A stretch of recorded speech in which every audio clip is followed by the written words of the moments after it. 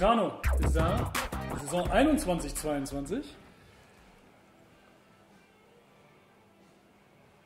Fühlt sich komisch an.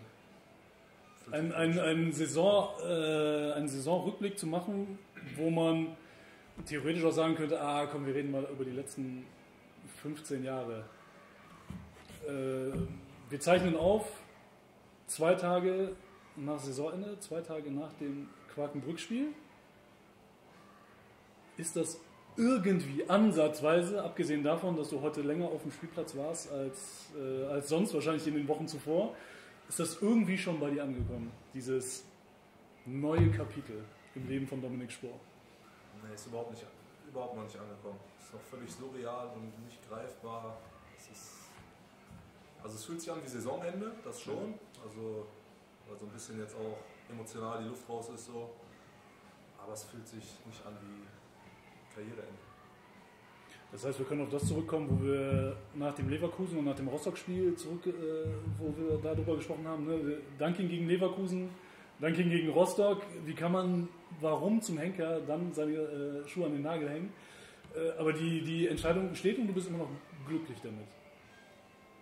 Klar, die Entscheidung steht. Ja. Die, ist, die ist in Stein gemeißelt. Und äh, ich bin auch glücklich damit. Es ist ja jetzt nur, wie gesagt, noch surreal und, und, und, schwer, zu, schwer zu kapieren irgendwie.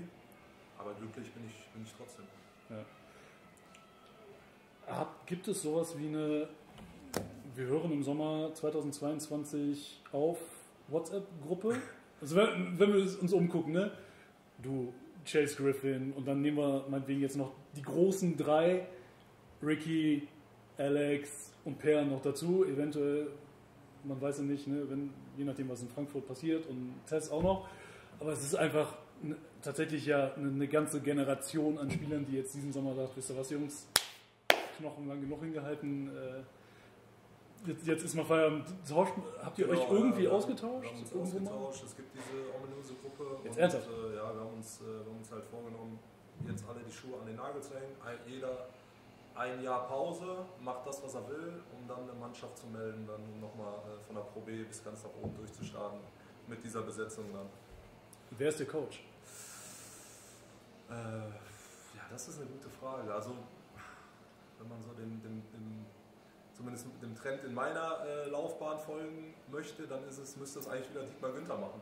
Warum nicht? Weil den hatte ich schon in der Regionalliga als 15-Jähriger, dann in der NBBL als so ungefähr 19-Jähriger und dann ja nochmal äh, vor, vor, vor fünf Jahren ungefähr, als er dann bei Phoenix nochmal als, als Cheftrainer übernommen hat, als Interimslösung.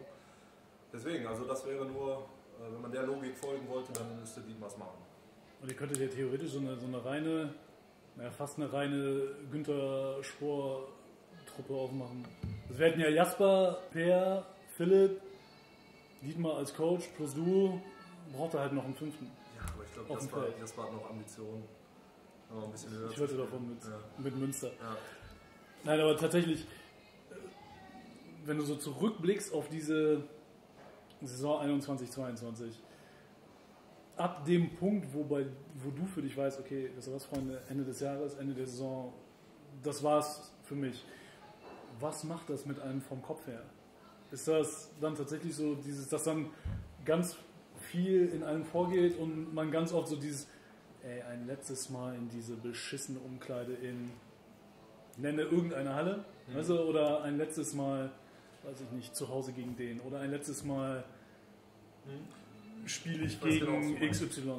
Was, was macht das mit, mit dem schon, Kopf? Also man hat das schon, ne? also das letzte Mal Paul Horn Arena, meinetwegen in Tübingen, ja. war so, ey, wie oft diese Halle war, ne? Tübingen war immer... Ich hasse das Licht in dieser Halle, ne? Wenn ich, äh, das ist eine geile Halle, aber das Licht ist ganz schlimm, finde ich. Mit den Mannschaften, wo ich Pro A gespielt habe, da ja. war Tübingen auch in der Pro A. In den Jahren, wo ich in meiner Mannschaft in der BBL war, war Tübingen auch in der BBL. Also gefühlt war das, war das immer, ist das immer so synchron abgelaufen. Deswegen war ich da so oft in dieser Halle. Und als wir dann jetzt vor ein paar Wochen da gespielt haben, dann war es, ah, letzte Mal Paul Horn Arena, krass. Ne? Und so war es dann halt auch mit ganz vielen anderen Sachen. Aber nie so, dass ich gedacht habe, ein Glück äh, muss ich hier nie wieder hin oder so. Also sowas, sowas, sowas nie. Ja. Ja. So war es vielleicht in der einen oder anderen Pro A-Halle, wo man vielleicht nicht so gern hingefahren ist, weil es, weiß weiß ich, eine weite Fahrt war oder weil da auch äh, vielleicht auch einfach, weil man keine guten Erinnerungen hatte, ja, dass man dann gesagt hat, boah, zum Glück hier nicht nochmal hin. Aber er, Großteil, über 90 Prozent äh, der Zeit war es so, dass ich gedacht habe, ah, okay, jetzt letzte Mal, letzte Mal das und das, letzte Mal, äh, letzte Mal hier duschen oder was weiß ich, keine Ahnung, solche, solche Dinge, ja. Letztes Mal Shootaround, ja, und dann letzte Mal einlaufen, all, all solche Sachen, all solche Sachen. Ne? Da ist man, das war, war mir schon bewusst die ganze Zeit über. Aber irgendwie war es dann doch immer so, wenn es dann, wenn jetzt das Spiel losging, auch davor noch im Warm-up auch manchmal noch drüber nachgedacht. Mhm. Hey, krass, das ist jetzt auch bald, das ist jetzt auch bald nicht mehr, aber sobald irgendwie Tip-Off war, konnte ich, da konnte ich es immer irgendwie ausschalten. Ja. Also ich glaube, das würde einen wahrscheinlich auch mehr hemmen, glaub als dass es gut wäre, oder? Ja, glaube ich auch. Ja. Also es ist ja nicht so, dass man auf einmal mit crazy Energie spielen würde, nur wenn man weiß, äh, ich spiele jetzt nie wieder ja. in dieser oder jenen Halle. Auch, Wobei man ja schon den Eindruck gewinnen konnte. Also um jetzt nochmal auf das Leverkusen und das Rostock-Spiel zurückzukommen, wo wir schon dachte so, Alter, was ist denn mit dem auf einmal los? Also jetzt nicht auch losgelöst von den, von den beiden Danks, ne? aber mhm. dass man also irgendwie so von außen betrachtet, dachte man so, okay, jetzt haut der da nochmal raus, was, was irgendwie geht, tatsächlich. Ja, man darf nicht vergessen, ich habe extrem gut mich auch vorbereitet auf die Saison. Ne? Ich, war, ich war im Sommer, habe ich sehr viel gearbeitet, extrem fit gemacht. Da kam halt immer mal wieder äh, ein kleiner Rückschlag, jetzt nicht verletzungstechnisch, aber mal, mal so krankheitstechnisch, was sich da ein bisschen länger hingezogen hat, dann auch nochmal mit Covid zwischendurch und so. Aber trotzdem, die Basis war ja stark, das Fundament war ja da, das, was ich im Sommer gelegt hatte. Und deswegen sehe ich das jetzt gar nicht so als, ähm, als so, ein, so, ein, großes, äh, als so eine große Überraschung an, ja. wie, das vielleicht, wie das vielleicht der eine oder andere gesehen hat. Und das jetzt nur an diesen Dunkings zu bemessen. Äh, ist ja nur ein Zeichen dafür, dass, ja, die, Beine, genau. dass die Beine noch funktionieren. Ja. Ist, das doch, ist, doch, ist das doch gut.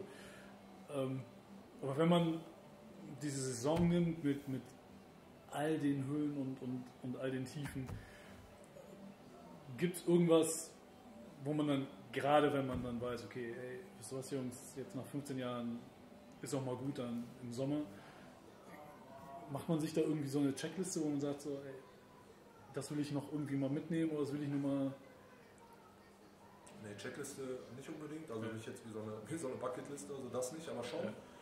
jeden Moment so speziell wertschätzen. Ja. Dass man dann auch seinen Teammates gerecht wird. Ich hatte wieder ein paar Wahnsinns-Teammates dieses Jahr, also bin ich sehr dankbar für, dass ich im letzten Jahr nicht mit äh, irgendwie mit irgendwelchen fragwürdigen Charakteren da verbringen musste, sondern das war überhaupt nicht der Fall. Ganz im Gegenteil, es war super. Teamchemie stimmte auch. Und ja, das war einfach so, so, so, eine, so eine Sache der, ja, der Wertschätzung der einzelnen Momente. Ja. Dass man dann vielleicht auch mal, keine Ahnung, nach dem Spiel müde gewesen oder vor dem Spiel, sagen wir, Tag vorher angereist irgendwo, dass man dann auch mal gesagt hat, ey, bin zwar eigentlich müde, ich könnte mich jetzt hier zwei Stunden hinten auf meine Rückbank legen, äh, aber jetzt wird ja auch, haben wir gerade ein paar coole Themen. Also ich bleibe lieber, bleib lieber dabei und, ja. und, und, und, quatsch ein bisschen na, mit den Jungs. Nochmal so eine andere Art von Bonding einfach. Ja. ja das war schon, das war durchaus auch äh, der Tatsache geschuldet, dass es das letzte Jahr war. Ja. Haben die das, oder hat der, der Rest der Truppe das realisiert überhaupt tatsächlich? Also jetzt gerade gerade die Jungs, gerade die Amis meinetwegen, die ja einfach, ne, ich sag mal so, wenn du als Deutscher im deutschen Basketball unterwegs bist, dann weißt du ab einem gewissen Zeitpunkt, ah, okay, der ist schon so lange dabei, der ist schon so lange dabei, der ist seit 5000 Jahren bei dem Club etc. pp. Aber gerade wenn du halt ne, ja, als, als Ami hier rüberkommst und gerade wenn es eben vielleicht, was weiß ich, bei CJ sogar noch das, das Rookie-Jahr ist, woher soll er sich im deutschen Basketball auskennen? Und für den dann genau das einzuschätzen, dass du auf einmal merkst, so, ey, du spielst ja mit einem Typen zusammen, der kommt aus der Stadt, ist jetzt wieder da und hört am Ende des Jahres auf. Also diese, diese Tragweite auch so, so ein Stück weit einzuschätzen. Hast du oder, oder wie habt ihr das in der, in, im Team also ich besprochen, verarbeitet? bin da nie mit hausieren gegangen. Ja. Also weder damit, wie lange ich das schon mache oder, oder, oder, oder, wie lange ich das noch vorhabe zu machen. Ja. Also keinen dieser Sachen bin ich hausieren gegangen. Ich habe auch nie irgendwie raushängen lassen, dass ich, äh, dass ich da auch schon mal höher gespielt habe oder irgendwie so ein Quatsch. Das, das habe ich nie gemacht. Ich wollte immer halt mein Spiel für sich sprechen lassen. Also ich habe immer gedacht, äh, die werden schon, die werden schon merken, äh, wie, sie mich, wie sie mich einzuschätzen haben. Ja. Klar spricht man mal darüber, also ich habe CJ direkt am Anfang gesagt, äh, das war erste oder zweite Training, da hatten wir mal die Situation, er mit Dampf nach vorne, ich so quasi hinter ihm her in seinem Windschatten ne? und dann, weiß nicht, da hat er irgendwo in die Ecke gepasst und da habe ich gesagt, hey, wenn ich hinter dir bin, du musst einfach nur, du musst nur mit Dampf nach vorne, bindest noch ein bisschen meinen Gegenspieler und flippst ihn einfach, ich liebe diesen Wurf, habe ich ihm ja. gesagt. Und dann gibt es bestimmt fünf, sechs Beispiele im Spiel diese Saison, wo genau das passiert ist. Er mit, er mit seiner Quickness nach vorne, noch den, meinen Spieler so ein bisschen gebunden, meinen Gegenspieler so ein bisschen gebunden und dann einfach das Ding nach hinten. Und dann Dreier, also das ist, äh, das sind halt solche Sachen, aber die sind ja wichtig auch. Äh, dass, dass, die, äh, dass die Mannschaftskollegen das wissen. Jetzt nicht nur bei mir, auch ein Aufbauspieler muss ja auch wissen, was macht Marcel Kessen so, dass der nicht so ein typischer Brettcenter ist, sondern dass er auch mal gerne draußen ist und Dreier wirft. So, ne? Das ist, solche, solche Mechanismen sind ja einfach wichtig. Aber mit dem Großen und Ganzen habe ich keinen, hab ich keinen belästigt. Irgendwie. Am Ende habe ich mal gesagt, so nach dem, da war auch ein emotionaler Sieg, ich weiß nicht, Trier oder Nürnberg, wo, wo wir auch dann mit sieben Spielern äh, mehr oder weniger nur in der Rotation, also richtig alles gegeben haben und dann nach dem, nach dem Spiel im Huddle so ein, so ein ja. enges Ding und gesagt dann, ey Jungs, ich liebe das mit euch zu spielen und ich könnte mir keine bessere Truppe vorstellen für das letzte Jahr. So, das ich auch wirklich so gemeint. Ja. Das, ist, das ist halt auch so lustig, weil von wie vielen Zufällen sowas ja auch abhängig ist am Ende des Tages. Ne? Also weil du hast ja als Spieler hast du ja in der Regel relativ wenig Einfluss darauf, mit was für Pappenheimern spielst du zusammen. Also, und dass du dann halt eine Klar, Truppe hast, die einfach so funktioniert, also ja, ein Stück weit schon, aber. Du hast so gut wie gar keinen Einfluss. Ne? Ja. Das braucht man nicht überbewerten. Auch wenn viele sich das immer anders vorstellen, so habe ich schon öfter mal gehört, habe ich sogar schon Anfragen Anfragen bekommen, so, hey, kannst du nicht mal ein gutes Wort für mich einlegen? So, hey, so läuft das nicht. Ich bin zwar, mein Wort hat vielleicht am Ende, wird gehört so, ne? das vielleicht schon, auch aufgrund der Erfahrung und alles, aber ich, ich, kann, ich war nie in der Position, hier irgendwelche Spielerentscheidungen zu treffen. Ne? Ich meine, je nachdem, was du halt für ein Verhältnis mit Coach hast, und gerade wenn man halt irgendwie schon ein paar Tage dabei ist, kann man sich ja durchaus mal austauschen. Weißt du, oder so, pass mal auf, gib mir mal deine Meinung zu dem oder dem, wie siehst du das? Ja. Aber klar, letzten Endes erst final entscheiden. Genau. Kannst du nicht. Ja. Ist auch kannst, halt, kannst halt immer nur deine Meinung anbieten. So, ja. Und wenn sie halt gehört wird, dann cool. Und wenn nicht, dann ist es halt so. Es ist ja nun mal dann auch nicht der Job des Spielers, genau. den, den Kader zusammenzustellen. Genauso wenig meiner. Aber trotzdem ne, kennt man ja den, den einen oder anderen oder kann gewisse Dinge einfach aus aus der Erfahrung heraus dementsprechend. Weil du kannst ja dem Trainer, andersrum kannst du dem Trainer dann nicht auch sagen, noch eine Minute 30 zu spielen im vierten Viertel, kannst du ihm ja nicht auch sagen, ey, geh du mal lieber rein, ja. wirf du mal die Dreier. Also, das funktioniert ja nicht. Jeder muss ja sein. Jeder muss ja sein. Du kannst nur immer den machen, wenn's, wenn die Beine lahm werden. Ja, aber ich meine, selbst dann wird ja nicht yeah. der Trainer reingehen, ne? sondern wird ein anderer Spieler reingehen. So. Also das, das, das, meine ich mit jeder muss, sein, jeder muss seinen Teil beitragen. Ja. Aber wenn wir bei dem Thema sind, Gibt es denn in den letzten 15 Jahren irgendwen, mit dem du gerne mal zusammen gespielt hättest, wozu es aber nie gekommen ist? Jetzt so ganz spontan und ohne Vorbereitung auf die Frage. Das war, das, die ist mir jetzt auch erst spontan eingefallen. Einfach nur, weil es ein, ein geiler Typ ist, äh, hätte ich jetzt äh, JJ Mann gesagt. Und der übrigens, fand ich immer noch eine geile Geschichte, als wir im Sommer gegen die in der Preseason gespielt haben, als er in Flipflops in diese Halle geschlupft kam in Haspel Chris gesehen hat und ihm erstmal sagte, ey Chris, today 30 in Sandals. Ich glaube, wenn er da 27 oder so gemacht hat. Aber stimmt, das ist, ein, das ist ein geiler Typ. Auf jeden Fall. Also ich glaube, der ist auch extrem entspannt, wenn man nicht auf dem Feld steht mit ihm. Ja, absolut. Also Aber warum JJ Mann? Wo, habt ihr den, wo ist der Berührungspunkt bei euch? Ja, der hat mich einfach, also wir, wir, wir haben ja nie, ich ja schon gesagt, also nie zusammen gespielt, ja. aber wir hatten auch so Jetzt nicht so, dass man sich äh, irgendwie, wer weiß wie gut kannte, aber er hat gesagt, hey, Montag bei mir äh, Poker Night, Paus, Paus Leverkusen, also ein paar ja. von seinen Teamkollegen und von uns waren auch zwei, drei Jungs da. Hast du Bock zu kommen? Okay. Und dann, ich so, ja klar, danke für die Einladung. Das, ja. äh, das soll ich mitbringen. So, ne? Und dann bin ich hin und dann einen, einen guten, witzigen Abend. So muss es laufen. Ja. Du hast eben Bucketlist gesagt. Was steht auf der Bucketlist für jetzt den, den, den Sommer? Wo du sagst so, ey, irgendwann muss ja auch das, das, der Ernst des Lebens kommen, äh, Berufsleben, das nächste Kapitel. Aber ich will jetzt einfach dieses, jenes, was auch immer machen. Oder ist es einfach, einfach mal den, diesen Körper zur Ruhe kommen lassen und, und schauen, was passiert? Ja, zur Ruhe kommen lassen, ey, ich versuche jetzt, äh, ich muss jetzt natürlich, muss jetzt natürlich zusehen, wenn diese Trainingsbelastung weg ist, ne, dass ich nicht irgendwie 20 Kilo zunehme oder so. Ja. Das, ist, das steht auf jeden Fall. Ja, das kommt erst nach zehn Jahren. Ja, bis dahin hast du man noch ein bisschen Freifahrt jetzt- Wenn man jetzt ein paar äh, gesunde Gewohnheiten sich so, sich so angewöhnt, Ja. ich glaube, dann kann man, kann man, dieses, kann man diesen Kelch nochmal, weiß nicht, zehn weitere Jahre nach hinten verschieben.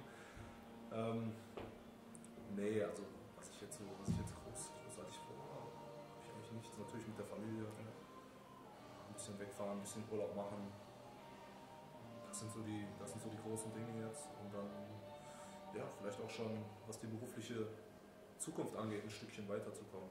Ja. Als ich es jetzt bin. Jetzt bin ich ja noch äh, mehr oder weniger völlig blank, was das angeht. Aber vielleicht kann man da ja schon die ersten Schritte gehen. Ja. Letzte Frage.